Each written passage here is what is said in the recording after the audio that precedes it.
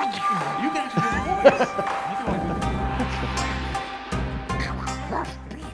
the I can do Mickey. Hi, everybody. Everyone will tell you Annecy's Animation Film Festival is like a big family reunion. The animation family. And nothing's better than a family reunion with a long time no see brother showing up with a new baby.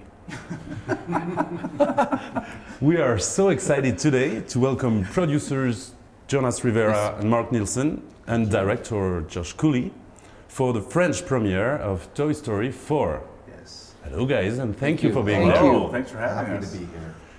It's been nine years since we last saw you in Annecy. Yeah. Haven't you missed us?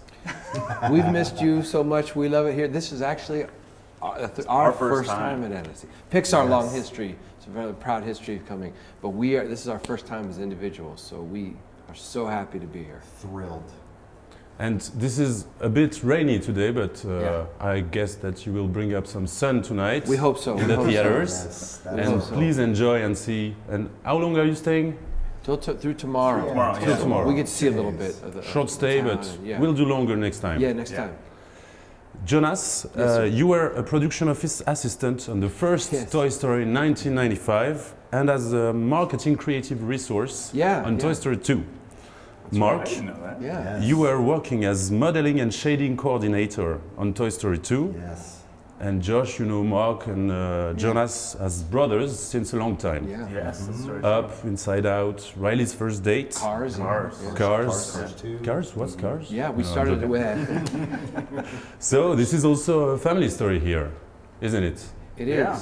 I mean, I think that's fair to say at Pixar, you know, so many of us have gone back many years that it feels almost more like a family there than, than a studio. We've all worked on a number of films together, uh, invested our lives, you know, into, into the studio. So uh, it, does, it does feel like that. Yeah, I was Josh's first manager in the story department on the first Cars. Mark called me when I was living at home with my parents, and offered me the internship. That was in He's- How old 1934. were you? Uh, how old was I? Oh, boy. 22, maybe? Yeah. 23, 22? Yeah. Glad you said yes. Yeah, we're doing it too. Were you just asking to We're see glad why were you living at, Yeah. with your parents at 22? Is that what that was? That's the real question. Yes, I get it. This toy family story started in uh, 1988, actually, with a Tin Toy, Tin Toy, right. a John Lasseter short Right. film, uh, in which we see a lot of things that are that have been developed in all the stories uh, since, but things has changed a little. Can you tell us about this whole?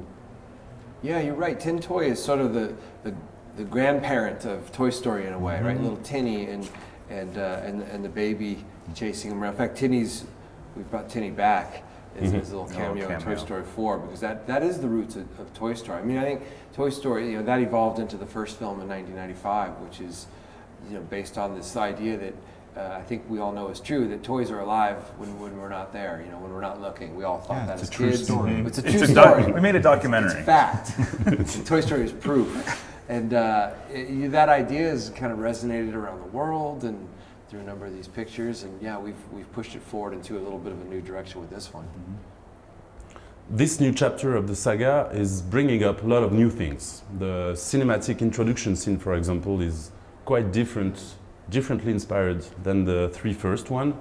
How do you decide what must change and what mustn't? Well, the one thing we, we didn't want to change is just the aesthetic of, of Toy Story. So when you watch this film, we wanted to make sure it felt different and new, but also the same, which is very difficult to do. So the, the aesthetic of, of uh, Toy Story is exaggerated shapes, and but realistic textures and theatrical lighting. And so we, every, every shot, every scene, we made sure that we stayed consistent with that.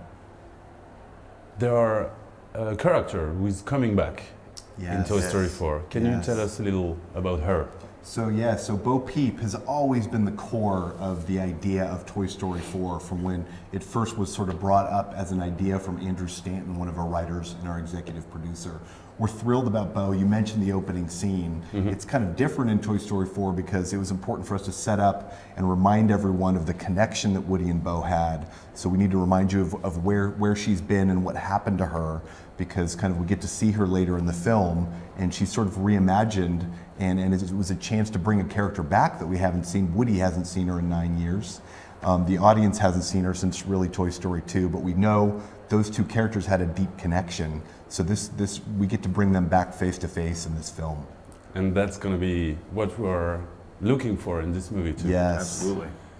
Easter eggs are a picture, a Pixar family tradition. Yes. Yeah. You stick to the tradition this time too. I think we, we, we did more than stick to the tradition this time. This is the, the mother load of Easter eggs in, in this film. I mean, there's we have this set, which you'll see is an antique store, sort of collection, secondhand store, and it's filled with objects, frames, pictures, um, little, little things, Props. but props, and we we took something from every film, even the short films, and hid them inside for everyone to, to look for. It's pretty fun. Some of them are very obvious, more obvious than others. Other ones, there's some I haven't even seen yet. That's right. They're really deep in there. So this is a movie you can watch over and over and over, Yeah, I- like you did so. for Yeah. the first one. And Yeah. Absolutely. Mm-hmm. there is an Easter egg I would like you to explain a little. It's a license plate. It's uh, Oh. RMR F97. There Very is a, That's the one Yeah, in that's the, real very nice. beginning. there yeah. is a terrifying story that's- behind this. Yeah, so Yeah, I, I had the pr- the pleasure of working on Toy Story 2, and there was there was a kind of a terrifying moment on that film when they realized that one of our shading and paint artists had accidentally deleted the entire movie from the render farm, just gone. Um, so there was We a won't s- name names, but we yeah. were not going to name No, no. names. But we never saw that person ever again. but so there was a scramble. But the, the supervising technical director at that time had a backup of the film at her house on her computer at home. Is that Wasn't she on maternity leave? Yeah, she was Kate? on Yeah. maternity leave, and so they literally had to go out and, and get the movie from her house, bring it back, and, and kind of revive it back at the studio. But that number that you said, that is the key command that this person accidentally typed on their keyboard that deleted the film. That's crazy. So it, there could have been no Toy Story 2. Yeah, that's true. Yes. And that would be the end of the story. That could have been it. 20 years. We would, I don't know if we'd even still be working at the company. So take, so we hope everyone looks at that license plate, goes home, and types that into their computer. Sees what happens. Don't do that. Don't do that, kids. Yeah. Don't do it. Okay, let's get technical a little. All right. How do you manage the evolution of technology to tell a story that started almost 25 years ago with a much different computer power? Mm, yeah. Well, you know, when we start thinking about the stories that uh, the story we want to tell, the technology isn't a part of that. It's not what we don't talk about that in the story room. It's more about just the the human emotion that we're trying to get across and to, and how we want the audience to feel from scene to scene. And uh, once we have that locked down, that's actually the thing that I bring to the technical side that I, I'm just trying to convey to them. I said, this is the emotion we're going for. Um, I don't understand how they do any of that magical, uh, beautiful imagery, but all I do is try and convey here's the here's the feeling we want, and then they they're so artistic and so talented that ta- so talented that they bring that forward. And our new computer can do can do anything. So um, it's amazing to see what they're able to do. Yes, it is. Yeah, I mean, the first Toy Story was the, the first ever feature computer animated movie, and they were pushing the limits of everything they could do with computers at that time. But I think what's not different is we were kind of doing the same thing even now.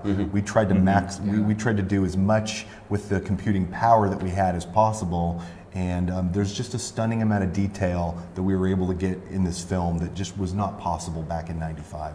Yeah, and yet we're trying to remain true to the visual grammar of Toy Story so that mm-hmm. the audience is, you know, it doesn't look like it's a different movie. It has to be in the same world. So the mm-hmm. color space and the, the environment and the textures, you know, it's all echoes of what was there, but shown, I think, with more fidelity and, and clarity than, than we ever could have dreamed in 1995. Yeah.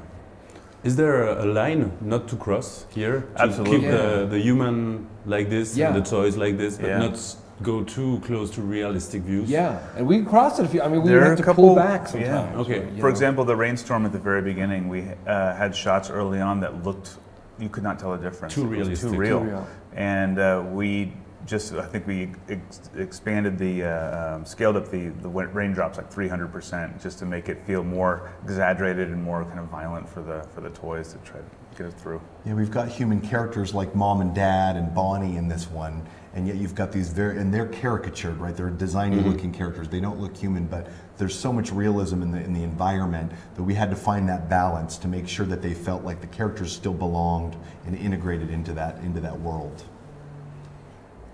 one of the new things in Toy Story 4 is a toy who's not actually a toy. Mm-hmm. Can you explain us that choice? The choice. Um, Choice is the way to say it. The, the we, you know, it started with a, just kind of a joke. We were sitting around in the story room and saying, uh, "Well, what would happen?" You know, we're, we're looking at our own kids and how our kids play with. with they'll pick up a, a rock and go, doo, doo, doo, and now that's a toy. But we we're thinking, in the Toy Story world, would that mean that that's a character? Does that come to life now?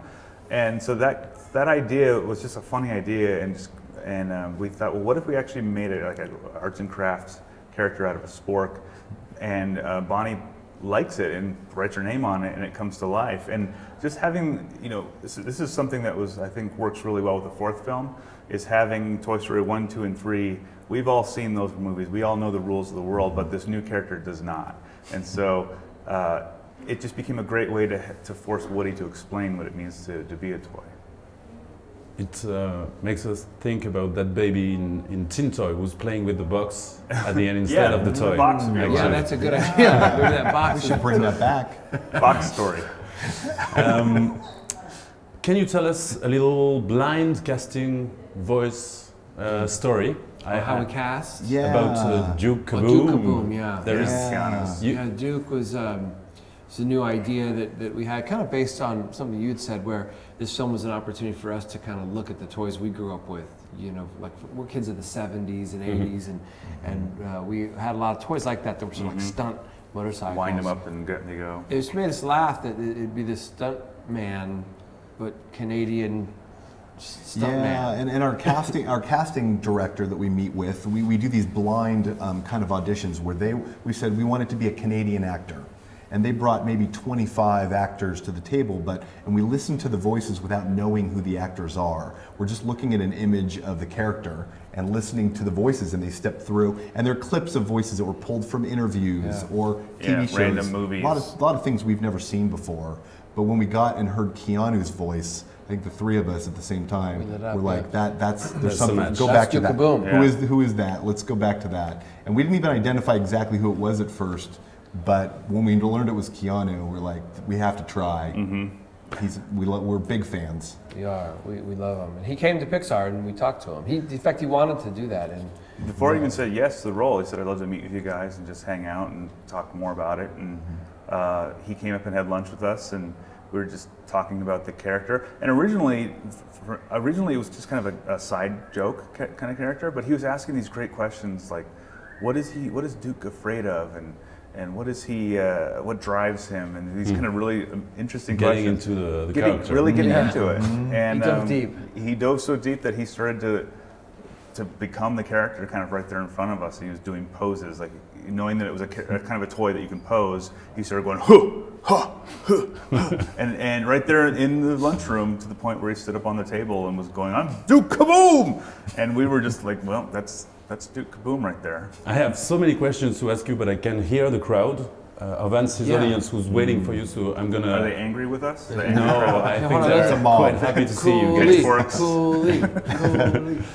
Uh, we sincerely hope that we will see you again in Annecy, maybe for a Toy Story 5 or a new creation. Or maybe a new Maybe a creation. new creation. We'll Okay. just, we're going to find Is any there- excuse we can to get Is here. there a secret you can share here? A secret. Maybe. I Now, you know, I think we could say that there's a slate of films being developed at Pixar now uh, that is unlike anything we, we've ever seen. It's, Mhm. it's kind of a new era. There's six or seven original films, new directors, new producers. Uh, there's a lot. I don't know if I've ever been more excited about kind of what's pretty coming. cool. So Yeah. we will be back. We will We, be back. we expect this. Thank My you. last question that we ask to all our guests here is to look at the camera here Okay. and thank directly, personally, an animation character that has changed your life. Oh, thank Oh, the character. Wow. Yeah. Okay. That, um, this has been a long time coming, but And I don't want to urge you, but you are much awaited, guys. You know, I was I, I would like to thank the animation character that changed my life. And don't don't laugh. No. But it's Ariel, the Little Mermaid. Don't laugh. Get out of here. Too late.